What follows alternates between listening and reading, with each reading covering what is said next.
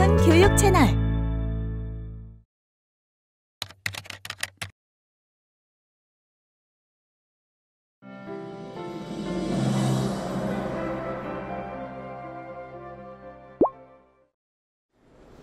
자, 18차 시작을 하겠습니다. 이번 강의는 독서치료의 절차에 대한 이야기인데요. 어, 모든 일이 그렇습니다만 절차가 매우 중요합니다. 크게 단계를 나누어 설명을 드릴 테니 잘 들어보시고 단계마다의 의미가 무엇인지 어떤 작업이 중요한지를 알고 가시면 좋을 것 같습니다. 자, 독서치료의 절차는 크게 아홉 단계로 구분을 지을 수가 있습니다. 물론 이 단계는 더 쪼갤 수도 있고 합할 수도 있습니다만 저는 아홉 개로 구분을 지어 보았습니다. 먼저 접수 면접이라고 하는 게 1단계이고요. 그 다음에는 심리 검사, 3단계에는 결과 분석 및 목표 수립이라고 하는 게 들어가 있습니다. 그 다음 4단계에는 치료사를 정하는 단계가 이어지고요. 그 다음에는 자료를 고르고 활동을 고르는 단계가 이어집니다. 그 다음은 치료를 행하게 되고 그러면서 수용과 보완을 가할 필요가 있다고 이야기를 합니다. 이어서 마지막에는 평가와 함께 취소 지도가 이루어질 필요가 있다고 정리를 했는데요. 다시 처음으로 돌아가서 하나씩 설명을 드리겠습니다. 자, 1단계는 접수 면접입니다. 이 단어가 이미 익숙하실 겁니다. 왜냐하면 지난번 코칭을 할 때에도 면접 면담에 대한 이야기를 드렸기 때문에 알고 계신 용어일 거라고 생각이 드는데요. 치료를 받으러 오는 사람과 만남을 통해서 이야기를 나누는 과정입니다. 즉, 치료를 실시하기 전에 이 사람이 왜 오게 되었는가, 역사가 어떻고, 언제부터 어떤 문제가 있었는지, 왜 그런 문제가 반복이 되고 있는지 이런 것들을 전반적으로 물어보는 그런 과정입니다. 그런데 역시 대상이 만약에 아이라고 한다면은 부모님, 선생님들의 이야기가 굉장히 중요하게 접목이 될 필요가 있겠고요. 그 외에도 필요하다 여겨지는 부분들은 치료사의 입장으로 효과적으로 물어보는 그런 과정, 작업이 바로 면접이라고 이야기를 합니다. 영어는 인터뷰라고 하는 단어를 쓰게 되는데 보통 기관들은 각자마다의 양식을 갖고 있습니다. 그 양식에 따라서 효과적으로 물어볼 수 있게끔 구성되어져 있는데요. 바로 그 작업이 첫 작업입니다. 그런데 이 접수 면접이 처음 만남이기 때문에 더 중요하다고 이야기를 할 수가 있겠습니다. 왜냐하면 앞선 그런 질문들이 사실은 이 사람에게는 쉽게 하기 어려운 말들일 수 있습니다. 게다가 치료가 진행이 된 뒤에는 두 번, 세 번 같은 이야기를 하지 않을 수도 있습니다. 따라서 이 면접은 한 기관이 만약에 있다고 한다면 그 기관 내에서 가장 전문가인 사람이 하는 게 원칙이라고 이야기를 하고 있습니다. 왜냐하면 그래야 편안한 분위기를 주면서 필요한 것들을 효과적으로 물을 수 있겠죠. 그렇죠? 그래야 되기 때문에 접수 면접은 아무나 할 수 있는 게 아니라고 사실은 이야기를 합니다. 선생님들은 평소에 엄마들이든 또는 아이들이든 아마 개별 면담을 많이 진행할 거라고 생각을 하는데요. 어, 이미 그런 경험을 통해서 사람들에게 무엇인가를 묻고 파악하는 데는 익숙한 면이 있다고 생각이 듭니다. 따라서 예, 반전문가라고 생각이 드는데요. 어떤 양식에 의해서 효과적으로 물어본다. 그래서 처음 만남이지만 중요한 것들을 많이 파악을 하는 과정이다라고 알고 계시면 될 것 같습니다. 자, 1단계는 그렇게 실시가 되고요. 그런 다음 2단계에서는 심리 검사를 할 필요가 있다라고 이야기를 하는데요. 심리 검사는 그런데 의무 사항은 아닙니다. 즉, 면접을 통해서 내용에 대한 파악을 했는데 만약에 부족함이 있다 또는 이 사람의 이야기가 정말 그런지 아닌지 확인할 필요가 있다라고 판단이 있으면 그럴 때 심리 검사를 해야 된다라고 이야기를 하고요. 만약에 그 말인 즉슨 면접을 통해서 충분한 파악이 되었다라고 한다면 굳이 검사를 할 필요가 없다는 이야기입니다. 자, 우리가 몸이 좋지 않으면 병원을 가게 되죠. 그럴 때 만약에 그 상처가 겉에 보이는 것이다. 그러면은 그냥 보여만 주면 되겠죠. 그럼 의사가 그거를 보고 적절한 조치를 취해 줄 것입니다. 그런데 만약에 안에 어딘가가 아픕니다. 눈에 보이지 않죠. 그러면 그럴 때에는 반드시 엑스레이라든가 다른 검사를 해보라고 이야기를 하지 않습니까? 왜냐하면 확인이 불가능합니다. 명확하지가 않습니다. 이 환자만의 설명으로는요. 그래서 검사를 하는 것처럼 마찬가지로 독서 치료에서도 면접을 통해서 먼저 이야기를 나눕니다만은 충분하지 않은 경우에는 검사를 더해서 정말 그 문제가 맞는지 문제가 맞다면 얼마나 심한지 그렇지 않은지를 파악할 필요가 있다라고 이야기를 합니다. 심리 검사는 선택을 할 수 있는 그런 항목인데요. 만약에 행해지게 된다면 면접 다음에 두 번째로 검사는 실시가 됩니다. 자, 이렇게 면접과 검사를 하게 되면은 당연히 결과가 나오겠죠? 그러면은 치료사의 입장으로는 이 두 자료들을 종합을 해서 결과에 대한 분석을 할 것입니다. 그러면서 이 결과를 가지고 앞으로 치료를 해야 되기 때문에 그러면은 어떤 목표를 세울 것인가에 대한 거를 여기서 고민을 해보게 되겠죠. 자, 이 말은 곧 어떤 말이기도 하냐면은요. 치료에 대한 기간, 방향을 정한다는 의미이기도 합니다. 보통 치료를 행하게 되면은 가장 많이 물어보시는 질문이 무엇이 있냐면은 이런 아이가 있습니다. 얼마나 받아야 될까요? 라고 물어보시거든요. 그런데 그에 대한 답은 바로 이야기를 할 수가 없습니다. 왜냐하면은 금방 이야기 드린 것처럼 먼저 그 대상을 만나서 면접을 해야 되고 필요하다면 검사를 해 봐야 됩니다. 그런 류의 결과에 대한 분석을 해야지만이 상태를 알 수가 있는 거죠. 그래야지만이 또 얼마나 필요한지를 이야기할 수 있다는 것입니다. 따라서 이 작업을 먼저 면밀하게 하고 그러는 목표를 세운다. 즉, 이 사람에게 도움이 될 만한 방향을 정하고 기한을 정한다는 이야기입니다. 치료는 상황에 따라서 1년 이상이 갈 수도 있고 아니면은 좀 짧게 3개월이 갈 수도 있고 그렇게 개인차가 워낙에 큽니다. 그런데 그런 결정을 하기 위해서는 이 앞선 작업들이 굉장히 중요하다는 이야기입니다. 목표를 그 다음에는 정한다라고 세 번째 나와 있는데요. 목표는 크게 또 두 가지의 맥락에서 결정을 하게 됩니다. 어떤 의미냐면은 종합 목표라고 이야기를 하는데 다르게는 장기 목표라고도 이야기를 합니다. 즉, 내가 만약에 A라는 아동과 3개월 동안 만남을 갖기로 했다. 그래서 치료를 하기로 했다라고 한다면은요. 3개월을 다 만난 다음에 이루는 목표가 있겠죠. 그렇죠? 그거를 종합 목표라고 이야기를 합니다. 자, 그리고 3개월을 만난다고 하게 되면 보통 저희는 주 1회씩 만남을 갖게 됩니다. 특별한 경우를 제외하고는 일주일에 한 번씩을 만나게 되는데요. 그러면 총 12번의 만남을 갖겠죠. 그러면 또 이제 그 12번에 걸쳐서 각각 만남을 가져야 되기 때문에 1회의 목표, 2회의 목표를 이런 식으로 세부 목표를 세우게 됩니다. 크게 두 가지 맥락이죠. 종합 목표, 세부 목표를 세우겠다는 이야기인데요. 결국 세부는 종합을 12개로 쪼갠 게 되겠죠. 그 다음에 종합은 세부를 다 더한 게 되겠죠. 그렇게 목표를 세우는 게 그 다음 단계가 되겠습니다. 자, 목표가 수립이 되고 나면 이어지는 단계는 치료사를 정하는 것입니다. 그런데 사실은 어떤 사람들은 치료를 개인적으로 배워서 실시를 할 수도 있습니다만은 어떤 분들은 치료 집단에 들어가 있는 경우들도 있죠. 치료센터, 뭐 치료소 이런 데에 들어가 있는 경우들도 있다는 이야기인데요. 특히 그런 기관들에서는 치료사를 정하는 게 굉장히 중요합니다. 왜 그러냐면은 결국 치료는 한 사람의 치료사와 치료받은 사람의 만남이죠. 그렇죠? 그랬을 때 치료사가 이 분야의 전문가인가 그렇지 않은가. 그 다음에 그 사람과 코드가 잘 맞는가 그렇지 않은가를 가늠을 해보는 것이란 이야기입니다. 자, 이거를 선생님들로만 한정을 지어서 이야기를 드린다면은요. 내가 한 아이를 도와주기 위해서 면접을 하고 검사를 하고 결과를 분석을 했습니다. 그러게 되면은 당연히 그 아동에 대한 게 나와 있기 때문에 내가 이 사람을 도울 수 있는가 없는가를 가늠을 해볼 수가 있겠죠. 그렇죠? 그럴 때 만약에 나는 실력이 아직은 부족한 것 같아. 이 아이의 문제는 매우 크기 때문에 내가 아니라 또 전문가가 만날 필요가 있겠어. 라는 결정을 한다는 이야기입니다. 그러면은 그럴 때에는 의뢰를 하는 거죠. 또 전문가에게 그렇게 할 수 있다 없다만 정하면 되는데요. 치료 집단인 경우에는 치료사가 여러 사람이 있다는 이야기입니다. 그럴 때에는 이 치료받으러 온 사람에게 더 나은 치료사를 정해주는 게 당연히 필요하겠죠. 그런 이유로 치료사를 고르는 게 그 다음 작업이 됩니다. 자, 이런 경우도 있습니다. 치료 센터를 예, 운영하는 그런 상황에 치료사가 여러분이 계시다. A라고 하는 사람이 치료를 받으러 왔다. 그러면 그 사람이 치료사를 요구할 수도 있습니다. 저는 남자를 원합니다. 여자를 원합니다. 나이가 많은 분을 원합니다.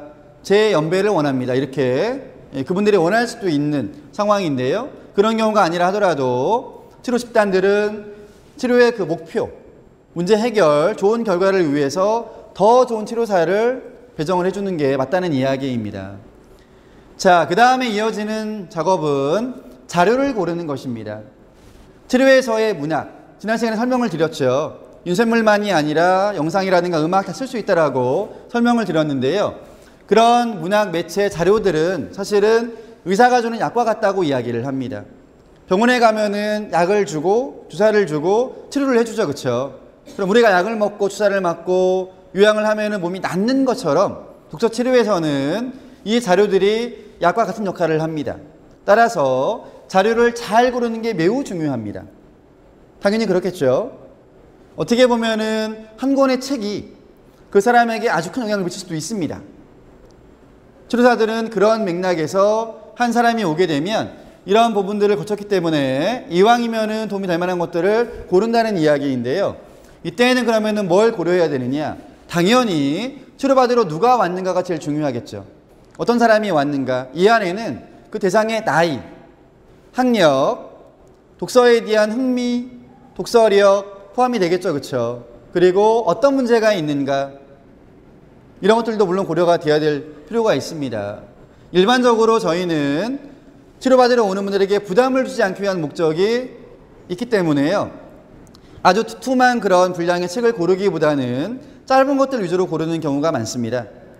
그림책이라든가 시, 뭐 동시, 노랫말 이런 것들을 고르거나 영상을 고를 때에도 짧은 것들 위주로 골라서 직접 제시를 하고 그런 다음에 상호작용을 할 수 있는 그런 기반을 만드는 데 주력을 하고 있는데 가장 큰 이유는 무엇이냐면 정말 좋은 책이 많이 있습니다만 일단 그들이 읽어오는 부담을 갖게 되면은 잘 오지 않으려고 하는 경향이 있습니다. 부담을 느끼는 거죠. 그리고 어떤 사람들은 치료에 오기 전 상황을 봤을 때 집안이 어렵거나 등등의 문제가 있는 경우들이 많습니다. 그렇다면은 책을 골라서 쓱 읽어오는 게 큰 어려움일 수가 있습니다. 따라서 그런 부담을 주지 않으려고 일부러 아이들에게 그 시간에 오기만 하면 된다. 그러면은 책을 읽어주고 선생님이 많은 것들을 다 제공해 주겠다라고 이야기를 한 채 진행되는 경우가 많습니다. 또 그래야 아이들이 참여를 하게 되고 그러면서 부담을 덜 느껴야지만이 효과도 있다라고 저희는 이야기를 합니다. 따라서 자료를 고르실 때 그런 부분도 한번 고려를 하시는 게 필요하겠습니다. 자료가 골라지게 되면 그 다음 작업은 활동을 정하는 것입니다. 활동이라 하게 되면은 자료를 함께 읽은 뒤 읽어주거나 또는 그 사람이 읽거나 또는 나누어 읽거나 그러니까 읽은 뒤에 저희는 이야기를 나눈다고 했죠. 그렇죠? 다음에 그 내용을 배우실 텐데 발문이라고 하는 그런 기술이 있습니다. 즉 치료사의 입장으로 일부러 물음을 던진다는 의미거든요. 그런 상호작용을 통해서 치료받으러 온 사람으로 하여금 이야기를 할 수 있는 기회를 주는 거죠. 그러게 되면 앞서 이야기 드렸던 원리 가운데 동일시부터 통찰까지 이룰 수가 있, 게 된다는 그런 이야기를 하게 되는데요. 그거 외에도 글을 쓰거나 그림을 그리거나 무엇을 만들거나 연극을 하거나 뭐 놀이를 하거나 이런 것들이 다 이 안에 포함이 됩니다. 결국에 활동이라고 하게 되는 것은 표현을 의미하는 것들이죠. 표현에 대한 부분들인데요. 왜 이거를 굳이 넣게 되냐면은 결국 치료에 오는 사람들은 마음에 응어리진 부분들이 있죠. 말하지 못한 부분들이 있습니다. 그러면 그것을 표출을 시켜야 되는 게 필요합니다. 그런데 어떤 사람은 말로 그걸 잘할 수가 있습니다. 그런데 어떤 사람은 말로 하는데 미숙함이 있거나 어려움이 있습니다. 하고 싶지 않을 수도 있고요. 그럼 그럴 때에는 그림으로 그려보세요. 한번 우리 연극으로 표현해 볼까요? 춤으로 해볼까요? 다른 걸로 한번 해볼까요? 이렇게 활동을 지시할 수밖에 없습니다. 즉, 활동이라고 하게 되면 결국 말을 대체하는 또는 안에 있는 부분들을 드러내는 그런 하나의 수단이 되는 것입니다. 그래서 독서 치료에서는 자료를 골라서 나눈 다음에는 활동을 하는 경우가 많은데요. 그런데 물론 활동을 반드시 다 할 필요가 있는 것은 아닙니다. 특히 저희는 아이들하고 작업을 할 때 활동을 많이 넣어서 하게 되는데 가장 큰 이유는 무엇이냐? 앞서 이야기 드린 것처럼 어른들은 자발성을 갖고 치료에 오는 경우들이 많습니다. 그러다 보니 기꺼이 이야기를 할 준비가 되어져 있고 약간의 기회만 만들어 주어도 이야기를 잘 하시게 됩니다. 하지만 아이들은 그에 반해서 자발성이 떨어집니다. 대부분 어른들에 의해서 억지로 오게 되는 경우들이 많고요. 그러다 보니까 자기는 문제가 없다고 이야기하는 경우도 많고 동시에 말하고 싶지 않다라고 하는 경우도 많습니다. 저항을 보이는 거 회피를 하는 그런 상황들인데요. 그럴 때에 말이 아닌 적절한 그런 어떤 활동들을 넣어주게 되면은 비록 말로 표현하진 않았지만 그런 마음들을 알 수가 있다는 이야기입니다. 따라서 활동들을 골라서 넣는다는 이야기입니다. 자, 접수 면접부터 활동까지 이야기를 드렸는데요. 여기까지 작업이 이루어지게 되면 무엇이 나오냐면 우리가 흔히 말하는 계획서가 완성이 됩니다. 계획서. 계획서가 나온 뒤에도 꽤 많은 단계들이 있죠. 그리고 꽤 많은 그런 신경을 쓰고 있는 것을 알 수가 있는 그런 상황인데요. 자, 여기까지 준비가 되었으니 이제 그 다음부터는 직접 만남의 시간을 정해서 부상자가 오게 되면 치료를 하는 게 그 다음 단계가 되겠습니다. 그런데 이때에도 치료에서는 그냥 행하는 것이 아니라 사전에 동의를 구한 뒤 녹화 또는 녹음을 하는 것이 필요합니다. 근데 그게 왜 필요하냐면 이렇게 많은 단계를 거쳐서 세심하게 준비를 했음에도 불구하고 결국 치료를 진행하다 보면은 오차 범위가 생깁니다.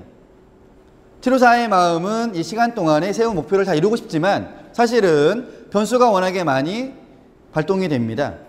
그러면 그 시간에 목표를 이루지 못했다는 이야기가 되겠죠. 그렇죠? 그래서 녹화한 부분을 돌려보거나 또는 녹음한 내용을 돌려서 들어본다는 이야기입니다. 그러면서 내가 한 실수 또는 그에게서 뭔가 아쉬웠던 부분들을 찾아낸다는 이야기인 거죠.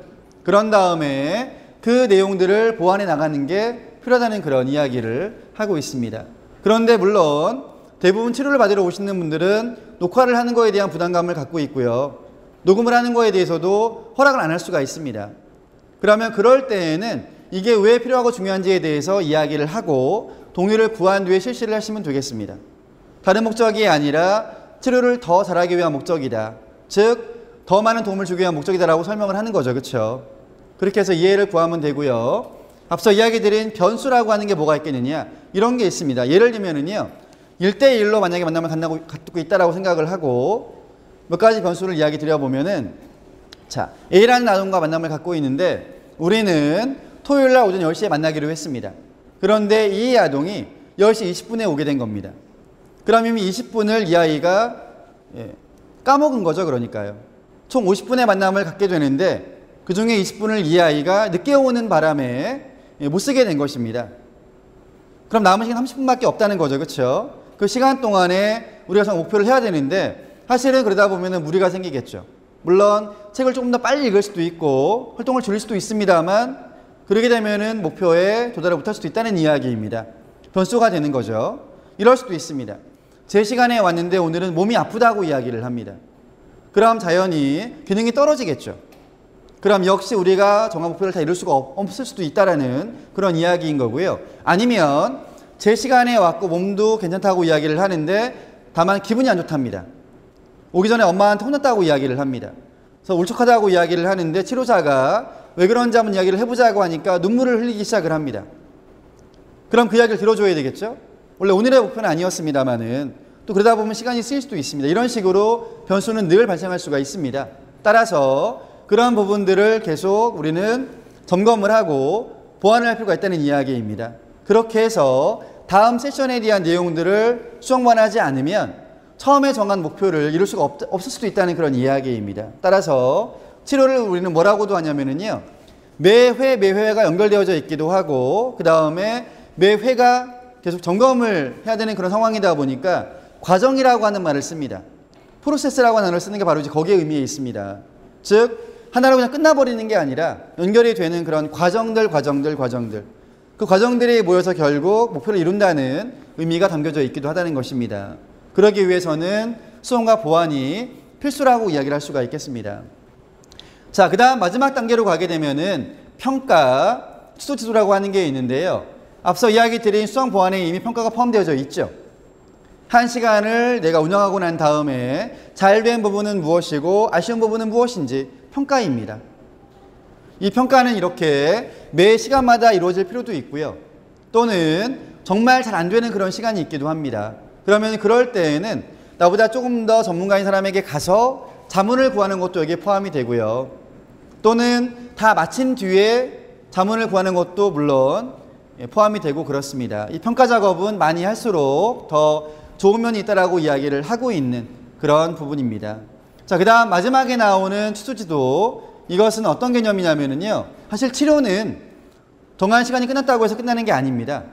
그럼 언제 끝나게 되냐면요.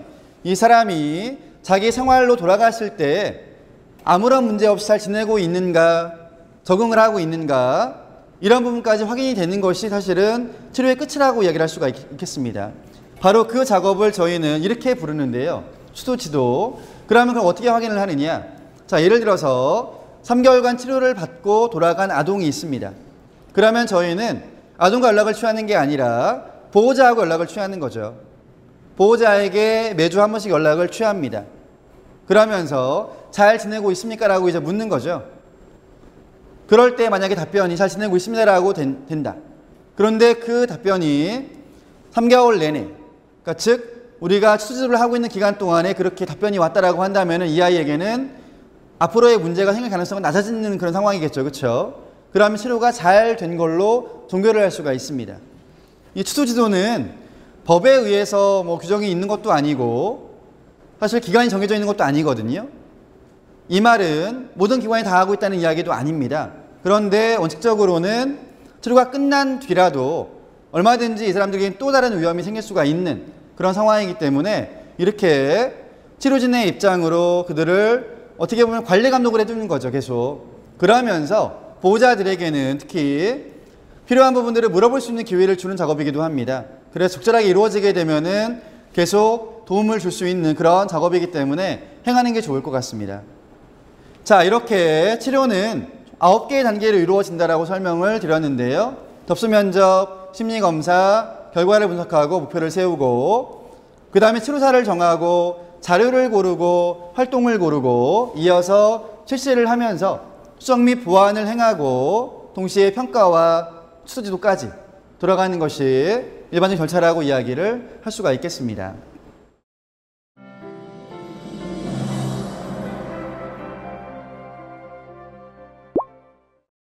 자, 이어서 전략도 필요한데요. 전략은 정의가 무엇이냐면 어떤 활동을 하는 데 있어서 필요한 책략이라고 보통 정의를 할 수가 있겠습니다. 자, 그렇다면은 독서 치료에서는 왜 전략이 필요할까에 대한 내용들을 적어 보았는데요. 앞서 이야기 드린 당연히 치료에 오는 분들은 조금 더 어려움이 큽니다. 게다가 다양한 어려움들을 갖고 온다는 이야기인 거죠. 그래서 그분들을 도와주기 위해서는 철저한 준비, 실행들을 해야 되기 때문에 단계마다의 전략이 굉장히 중요합니다. 즉, 내가 어떤 방법을 택해야 도움이 될 수 있을까? 자료는 뭘 골라야 될까? 구성을 어떻게 하는 게 좋을까? 이런 것들이 다 전략이 되겠죠. 그렇죠? 매우 중요하고요. 그 다음 두 번째 보게 되면은요. 이런 전략을 실행하는, 설명하는 데에는 매뉴얼, 이런 것들이 있어야 되는데 사실은 100이면 100이 다 다릅니다. 치료에 오는 사람들은요. 그렇기 때문에 하나의 매뉴얼을 만들 수가 없는 한계점이 있습니다. 이런 부분이 어떻게 보면 좀 어려운 점이라고 이야기를 할 수가 있죠.